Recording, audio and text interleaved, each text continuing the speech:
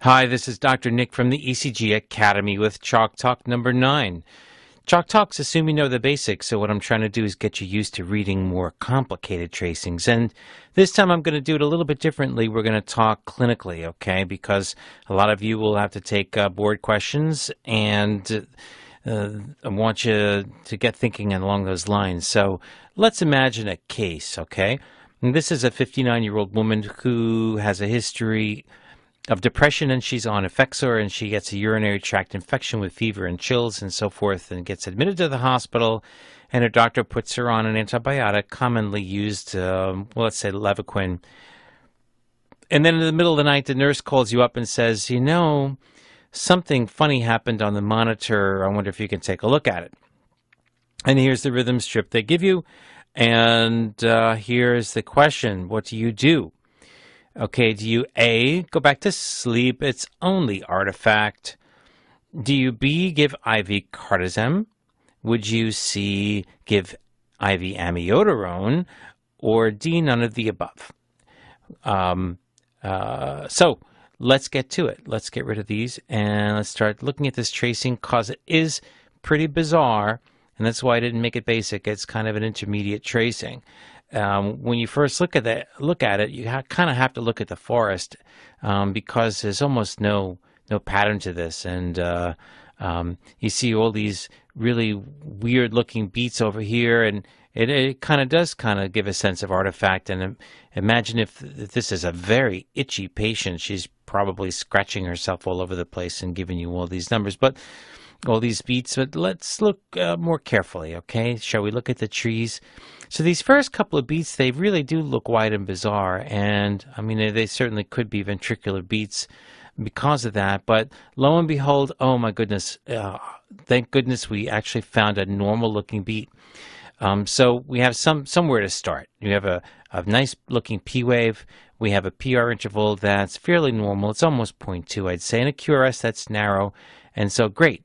So now we have, after a short pause, of maybe 600 milliseconds or so, we have this the beginning of this run, this run of something.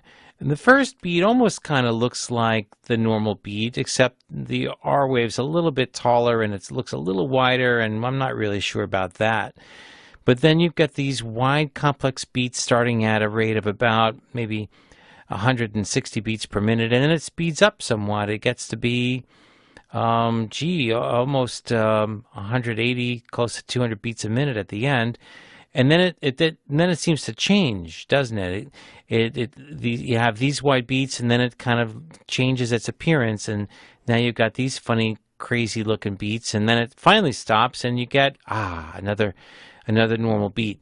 And then the PR is a little bit long here, but I'm not going to make too much of that because all of a sudden you've got a couple of of wide beats again, and then a normal beat once again, and then a, a run of, of a wide complex tachycardia, if that's what it is, if, if you're convinced it's not an artifact. I mean, when you scan around, you don't see anything that looks like a normal QRS peeking out from any of these beats, so we, let's assume it's not artifact for the time being. Here's another QRS. This time the PR is a little bit shorter, and then there's you know four beats of this wide something or other, and and then another normal beat and probably a P wave here. That's another normal beat. So, oh my goodness, two normal beats in a row. I guess we can figure out what the sinus node is doing. Okay, so if we measure out the rate, we get 300, 150, 175. It's between 60 and 75, closer to 75, so maybe 68 or 70 beats per minute, um, assuming this conducts. Okay, here, I'll make you feel better. Okay, is that better?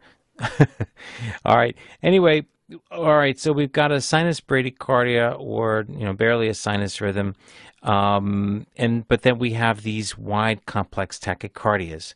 All right, so when we're figuring out where a wide complex tachycardia comes from, what should we be looking for? Well, how does it start?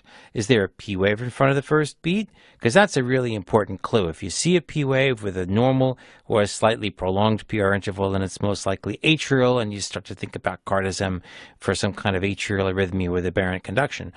So if we kind of look at the T wave of this beat that precedes the tachycardia, I don't know about that. I don't. I don't see. I don't see any bumps or bites or anything high frequency that I would that I would uh, call a P wave. Remember, atrial activity on top of a T wave is usually easy to see, but I, I just don't see it here. So if there's no P wave in front of this beat, then the, the presumption is that it's ventricular. But if it's it's ventricular and you have rates in the 150 to 200 range, we're talking about ventricular tachycardia.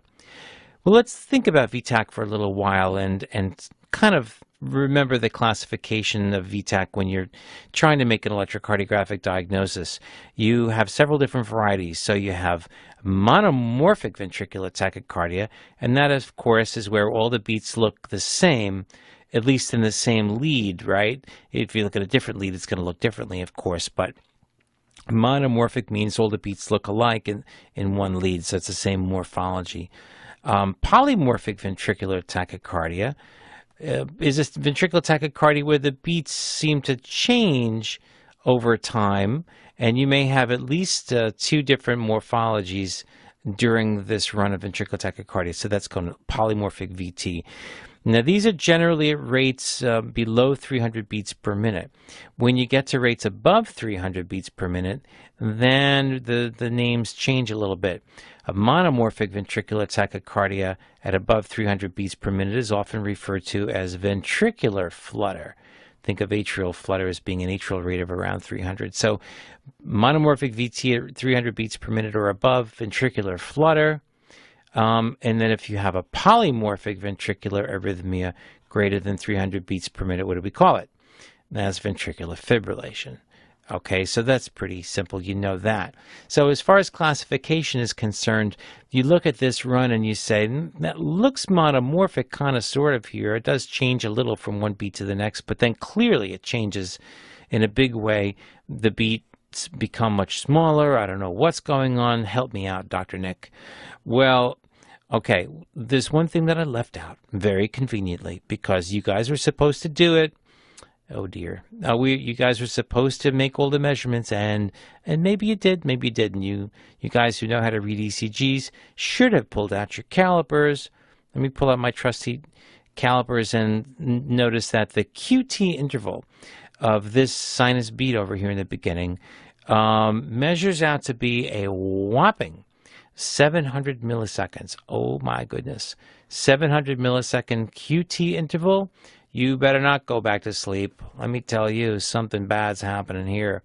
So with 700 milliseconds, and then the, this this tachycardia starts up. What's the first thing you really need to think about? Look, you got a long QT interval. You have a polymorphic VTAC. Almost certainly, what this is is you guys know, right? Torsade de pointe. Okay, what is torsade de pointe? It's actually a French word and it means revolving around a point.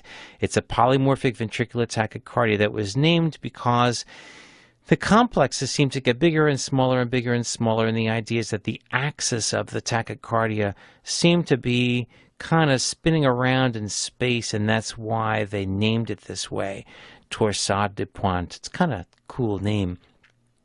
But when you look in the textbooks, you'll usually see a polymorphic VTAC that gets smaller and then it gets bigger and then it gets smaller and it looks very classic. Mm, all the books, it looks the same.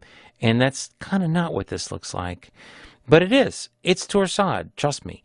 Even though it looks sort of fairly monomorphic in the beginning, clearly the morphology changes and what's happening is the axis changes and that makes the, the QRS much larger initially in this in this ECG lead, but then when the axis shifts suddenly the QRS gets much smaller because it's going to be bigger in a different lead, right? So you get this polymorphic non-sustained VT. It can become sustained and it can sometimes degenerate into ventricular fibrillation, torsade can. But what's causing it all? Well, this really, really long QT interval. I think, I think in this particular patient, um, the cause is the drugs. So what you're dealing with here is something called the drug-induced long QT syndrome, Dillquitz. Right, drug-induced long QT syndrome, because Effexor is known to increase QT interval in some patients, and certainly Levaquin has been reported to increase QT intervals. So you get the combination of two agents And most of these patients actually have the genetic predisposition to reacting badly to these drugs, and that's what causes the QT to get longer. All right, but let's kind of talk about Torsade for a couple of minutes. I, I just want to get you guys thinking uh, uh, how to how do you recognize it? Well, we'll get rid of the tracing and we'll get rid of some of this stuff, and uh, I want to sort of draw a little Torsade on the paper here because Torsade has a very characteristic appearance. First of all, when you look at the QRS complex, it's usually narrow, but the QT interval is very long. And uh, that's that's usually a precursor of Torsade. You really have to see long QT. Sometimes you'll see big U waves, especially. Now, the other thing that's characteristic of Torsade is that it's pause dependent. What do I mean by that? Well, what what happens to the normal QT interval when rates get faster?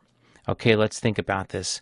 When the, when you have a slow rate, the QT is generally longer.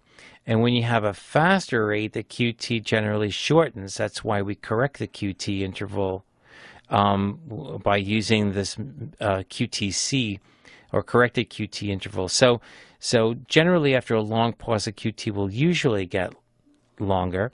But in Torsade, you'll see that the, the T wave becomes really bizarre after a pause. So let's say you have a PVC here and then you have a compensatory pause. After that pause, the normal beat comes in, but if you look at that T wave, it's really big and long and with crazy um, U waves and so forth. And then what you usually see is the first beat of the tachycardia arrives from the, the T wave or from the TU complex. And the first, so the first beat of the tachycardia arises from the T. So because the QT is long, what that tells you is the first beat of the tachycardia has is widely coupled, sometimes 600 milliseconds, which is equal to 100 beats per minute. That's um, uh, common. So you see this widely coupled beat. That's the first beat of the tachycardia because it's arising from this QT complex, which is very long because it's following this pause. So you've got the long QT, you've got the pause dependence, you've got the bizarre T wave after a pause, and the first beat of tachycardia is widely coupled um, and uh, and it rises from the TU complex, and of course it's polymorphic at rates usually in the range of 150 to 200, sometimes 220 beats per minute. So this is classically what Torsade uh, comes from. And if you guys want to do some more research into early after depolarizations, if you do a cell membrane, transmembrane potential, it's these af- early after depolarizations that cause the beats in Torsade. Um, but if you go on my website, I'll be talking about mechanisms of arrhythmias and triggered activity or early after depolarization is going to be part of that discussion. So stay tuned for that. In the meantime, if we get rid of this and bring our tracing back, you'll see that um, you'll see that indeed following this pause, you have a very long, bizarre T wave with a QT interval of 700 milliseconds. The first beat of the tachycardia arises a very long coupling interval, and you've got this um, periods of monomorphic looking, but it really is polymorphic because these beats are much bigger, then it gets smaller, then it gets much smaller, and then of course it gets bigger again. So you got this polymorphic VTAC. This is classic Torsade, but it doesn't look like the textbook. That's what I'm trying to do is get you guys to understand that not every ECG looks the same. They don't all look, look like the textbooks, and that's why uh, you need to watch these chalk talks and go on to ECG Academy.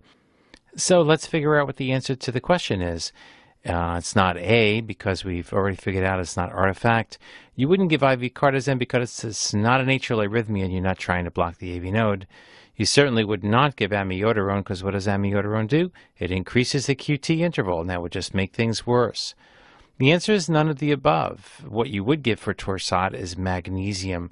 That's right, a couple of grams of magnesium will help to settle this down. Of course, you remove the offending agent and you get the patient stabilized in intensive care. It's a serious problem, but it is reversible.